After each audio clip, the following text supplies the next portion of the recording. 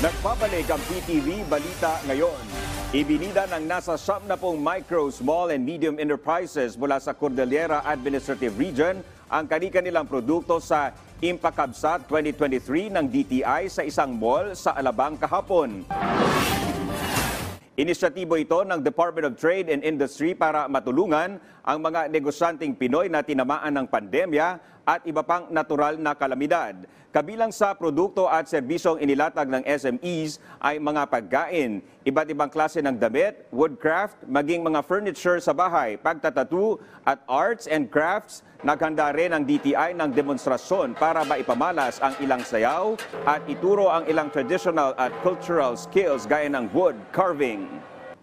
Ipinadala ni House Speaker Martin Romualdez sa Southern Mindanao si Deputy Majority Leader for Communications at ACT-CIS Party List Representative Erwin Tulfo para i-assess ang mga pinsala at alamin ang mga kailangang gawin sa mga lugar na apektado ng magnitude 6.8 na lindol noong biyernes.